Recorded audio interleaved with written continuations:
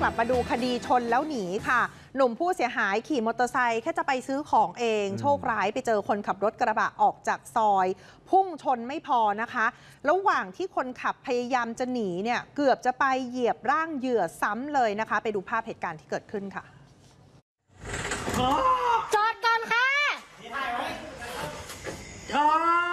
จอดก่อนค่ะ ไม่ต้องถอยไป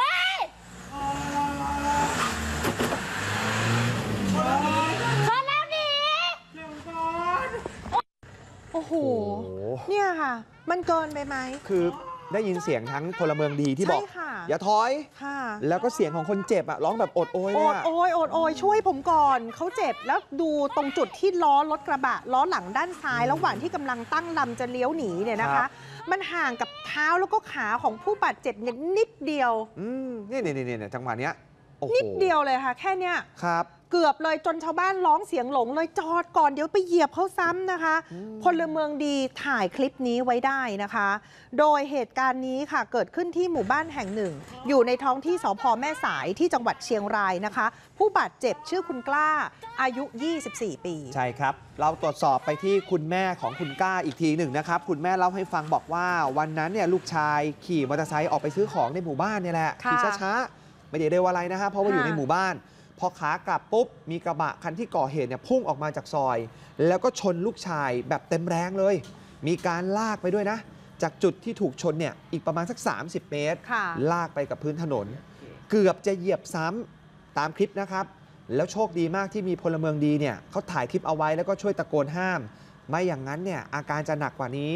แล้วอาการก็เนี่ยคุณผู้ชดูม ดูตรงตรงท้องที่โดนลากไปอะค่ะ เออ นั่นคือถลอกหมดแบบด้านหน้านี่คือคลูดไปเห็นเนี่ยรอยที่เลยคางก็มีที่อ๋อแขนทั้งสองข้างที่ขาทั้งสองข้าง พันผ้าพันแผลทั้งตัว ตอนนี้กำลังรอการผ่าตัดอยู่ที่โรงพยาบาลนะครับ เนื่องจากว่ากระดูกที่ขาเนี่ยมันหัก ค่ะ แล้วตามตัวก็มีแผลถลอก อยากให้คนที่ก่อเหตุรับผิดชอบครับ แล้วเขาก็ชนเข้ากลางลำแล้วก็ ปกติคนเราขับรถชนมันจะต้องเบรกเนาะแต่เขาไม่เบรก เขาบอกว่าเขาตกใจเขาก็พูดยาวไปเลยแต่พูดยาวมากสามสิบเมตร แล้วทีนี้พอพอเขาพูดเสร็จอะลูกชายอะน่าจะกระเด็นออก แต่ถ้าไม่กระเด็นออกก็คงจะจะตายอะพี่ว่า เพราะมันร่างกายเขามันถลอกปอกเปิดหมดเลย แล้วพอดีพอลากพูดยาวไปจนถึงซอยสิบเจ็ดอะน้องคนที่ที่ถ่ายคลิปไว้อะแกเห็นเหตุการณ์แกก็รีบคว้าโทรศัพท์มาถ่ายไว้ แล้วก็ตะโกนบอกให้ลงมาดูเด็กหน่อย แต่คนขับอะไม่ลง ไม่ลงมาดู แล้วก็พยายามถอยรถอะถอยรถถ้าเข้าเบี่ยงนิดนึงก็จะเหยียบลูกชายซ้ำอีกอ่าเบื้องต้นเนี่ยผู้เสียหายไปแจ้งความที่สพแม่สายแล้วนะคะ คุณผู้ชม และปรากฏว่าคลิปมันชัดเห็นทะเบียนเห็นรถชัดเจน ตำรวจเจอตัวคนขับที่ชนและหนี แล้วก็เรียกตัวมาที่โรงพักเรียบร้อยแล้ว แต่เจ้าตัวเขาอ้างแบบนี้นะคะว่าเขาเกิดอาการง่วงนอนเหมือนกับวูบหลับ แต่ถ้าให้เราดูภาพเนี่ยเหมือนชนแล้วลากไปแล้วไอ้จังหวะหักรถเพื่อพยายามจะหนีเนี่ยครับคนที่มีอาการวูบหลับเนี่ยเออทำแบบนี้ได้หรือไม่นะคะ แต่ว่าเบื้องต้นเนี่ยทางผู้ก่อเหตุเองก็บอกเหมือนกันว่าจะควเอ่อ